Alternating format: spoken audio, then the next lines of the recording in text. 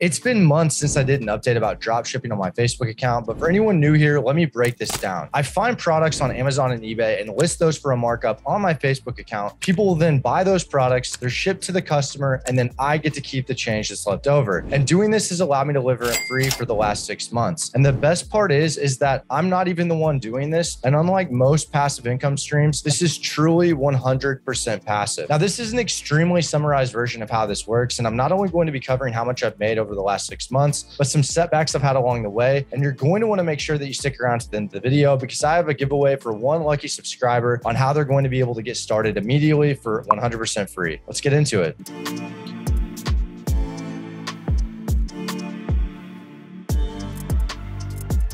What's up, guys? My name is Christian. On this channel, I cover different ways I'm making passive income online. And today we are covering Facebook Marketplace dropshipping. And this is actually my third video on the subject. But since my last video, there's been quite a few new faces to the channel. So I wanted to make sure I did a thorough update. But after this video, I recommend checking out those other two videos as well to get a better picture about Facebook Marketplace dropshipping. But for right now, you're probably wondering how this all works. How much have I actually made? How can you get started to where this can be 100% passive, just like I have? And why are all the people that are helping me out not just listing all of the products for themselves on their own Facebook account? And I'm going to be getting into all of that and more about drop shipping in this video. But first, you know what really helps this video out is dropping your thumb or mouse down to that like button and subscribing for new videos every single week. Now, first, let's talk about what drop shipping actually is because I hear this term misused so much in the e-commerce make money online space. And all drop shipping is, is selling goods that you do not physically own, mm-hmm. but have access to. And once that item sells, you will then have that good shipped from the place that has the product to the customer. This means that you actually never own the product on hand and you do not have to purchase the goods in bulk. And there's a wide variety of places where you can drop ship from. So in this video, we're only talking about finding products on eBay or Amazon, but people teach drop shipping to find products on Home Depot, Target, Walmart, and the list goes on. And you can sell those products not just on Facebook Marketplace. You can sell those on eBay eBay, Amazon, Walmart, Poshmark. However, with those platforms, it's usually against their terms of service. And if you get caught, you will get shut down, despite what these gurus on YouTube are teaching you. And you could go the exact opposite route where you don't want to list those on third party platforms. You could list it on your own website and drop ship from your own website. But then you're going to be battling how do I get traffic to my own website? And you're going to have to run Facebook ads. And there's a huge learning curve with that. And that could be costly as well. And I feel like Facebook Marketplace dropshipping dropshipping addresses all of these concerns. Not only is dropshipping permitted on Facebook Marketplace within certain guidelines, but they have over 1.8 billion customers. So there's never a shortage of people shopping on Facebook. And then you couple that with Facebook's low fees, where it's only 5% as opposed to some of these other third party platforms like Amazon, Walmart, eBay, Poshmark. They usually start at 15% and work their way up to 25% in fees. So those lower margins give sellers more wiggle room to work with to find profitable products to sell. Now, the two questions I want to answer is how much have I actually made so far? And furthermore, how much did I have to spend to make that? And so far, I've made $12,424, which comes out to be a little over $2,000 over the course of the last six months. And I've spent $30,205 on that, meaning that my return on investment is a little over 40%. And that's after paying out both of my employees. And on top of that, not included in the profit that I just gave you, I'm earning $500 every month in either cashback or travel rewards points based on credit card sign on bonuses, meaning that if I spend $5,000, I'm getting an additional $500 back every month. And I'm not going to be getting into how that works, but I will leave a link to some of the credit cards that offer that some of those sign on bonuses to their users. And I'm really happy with this 41% ROI for anyone who isn't familiar with how ROIs are in e commerce. Usually they vary anywhere from 20% to 80%. And usually you have to spend much more to get that 41%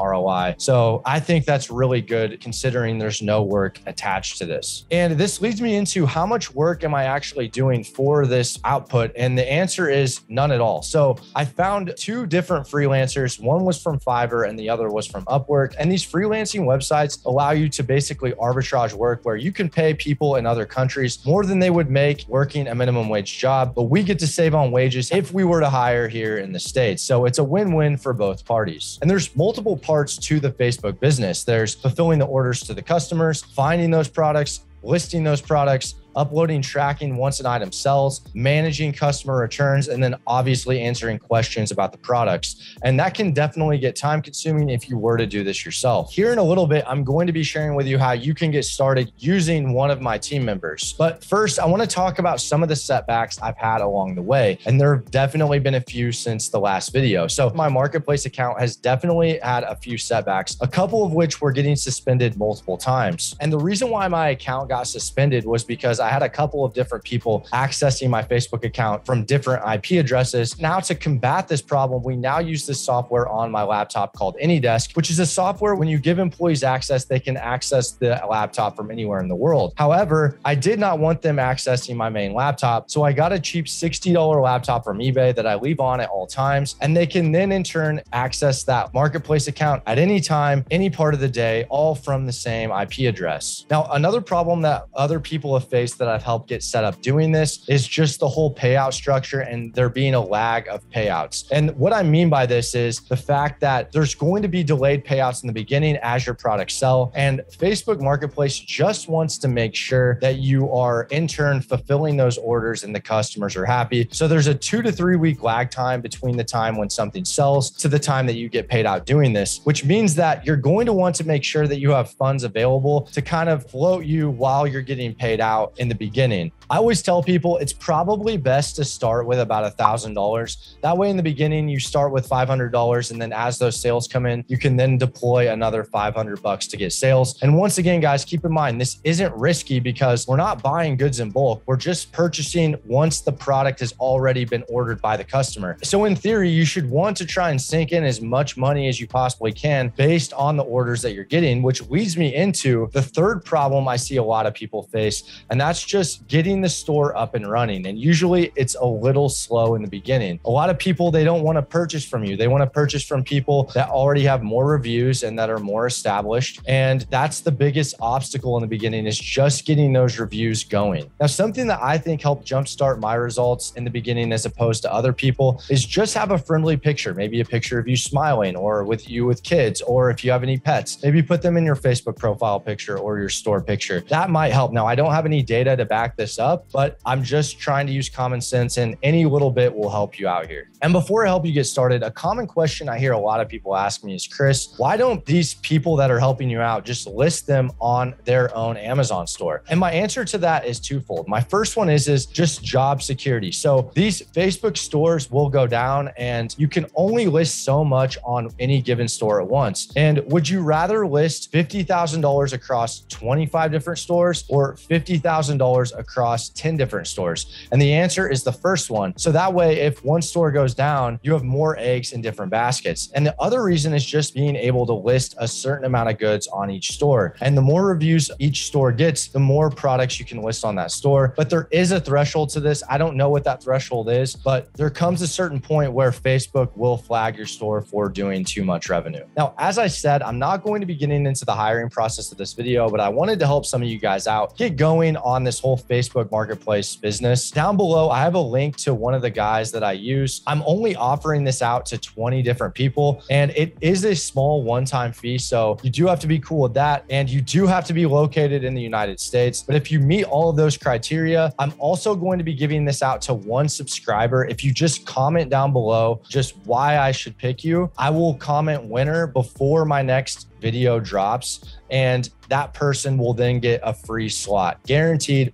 locked in no matter what will get a guaranteed spot. So be sure to do that. And one more thing is i recommend having at least a thousand dollars for inventory. The first month probably will be pretty slow but you just want to make sure that you can have enough money to back that up. And credit cards are great for this because it's not like you're buying these goods in bulk as i stated. It's only once an order is placed so you should want to fulfill that order. So i'll have down below a link to a couple of credit cards that have really helped me out and also earn you cash back as well. As always, guys, be sure to like and subscribe for new videos coming out every single week. Check out the free Facebook and Discord group in the description below. Thanks, guys, for watching, and I'll see you next time.